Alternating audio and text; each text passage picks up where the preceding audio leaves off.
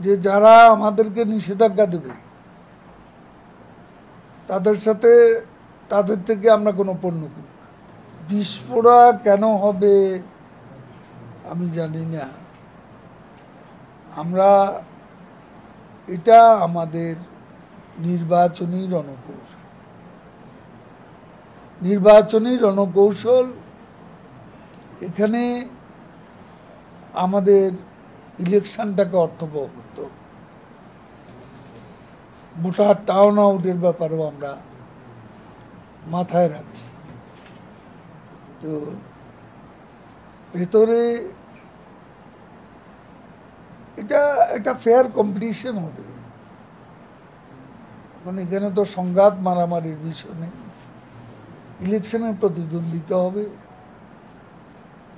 এবং প্রধানমন্ত্রী নিজেই বলেছেন যে স্বতন্ত্র তারা করতে চায়, তারা করবে।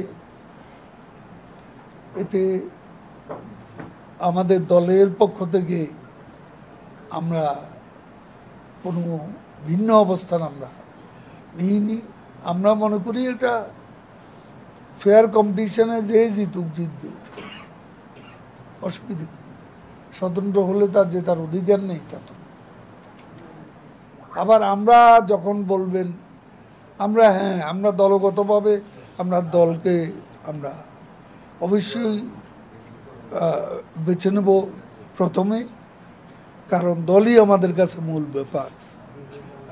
সেখানে স্বতন্ত্রদের দেওয়া হয়েছে প্রতিযোগিতা করার জন্য।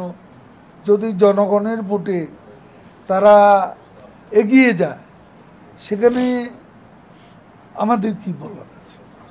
না, এটা প্রধানমন্ত্রী নিজেই বলেছেন। যে যারা আমাদেরকে নিষেধাজ্ঞা দেবে,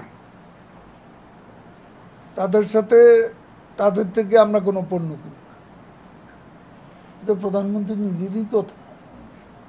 এটা শুধু এই সংস্থার বিজিএমই এর বক্তব্য না। এটা দেশের প্রধানমন্ত্রীর বক্তব্য। আর এখানে আন্তর্জাতিক বিশ্বে যে টানা পড়েন আছে।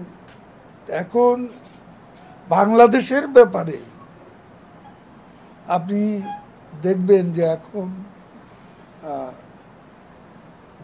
অনেকগুলো বিবৃতি বিভিন্ন সময় দেওয়ার ব্যাপার ছিল কিন্তু ইউরোপীয় ইউনিয়নের সব দেশ এ ব্যাপারে যুক্তরাষ্ট্রের সাথে বাংলাদেশ নিয়ে বিরূপ বক্তব্য দেওয়া বা খুব চরমপন্থায় যাওয়া, এ নিয়ে বিভেদ আছে।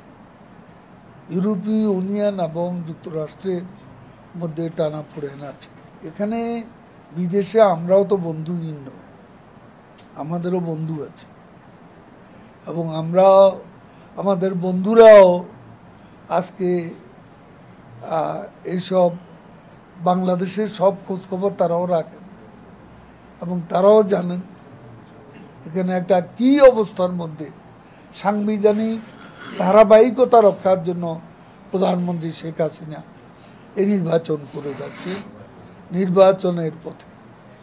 হাঁটছেন, দেশটা যাতে বিশৃঙ্খলার আবর্তে ডুবে না যায়, ভেসে না যায়, সেজন্য এটা আমাদের জাতীয় পবিত্র কর্তব্য, সে কর্তব্য আমরা পালন করে যাচ্ছি।